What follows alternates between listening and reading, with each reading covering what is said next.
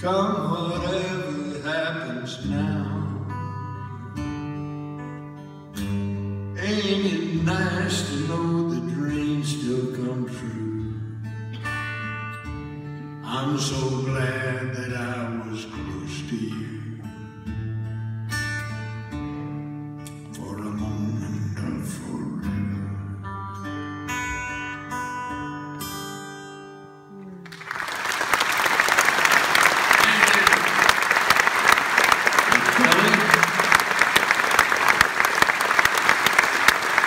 Congress and